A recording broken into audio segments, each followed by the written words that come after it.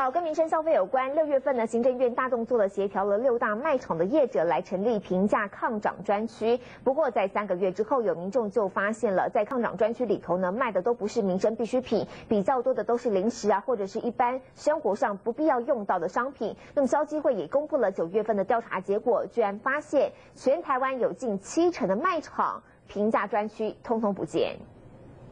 抗通膨捡便宜，卖场平价专区里，面粉、沙拉油、蛋、沐浴乳，还有卫生纸等十大民生用品贴上特价标示。但行政院协调六大卖场成立抗涨专区，这三个月来，到底有没有让消费者感受到抗涨？应该是不明显吧？对啊，感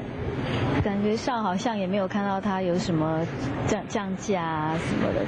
有民众觉得抗涨专区好像变小了，消基会也公布九月份调查结果，没设评价专区的卖场就占了百分之六十九点九，原价特价标示不清的有百分之三十三点三，至于没有将十种基本民生用品全摆出来卖场，更占了百分之九十。最近价格居高不下的鸡蛋，在部分平价专区里根本看不到。感觉上是只有三分钟热度了哈，就是说，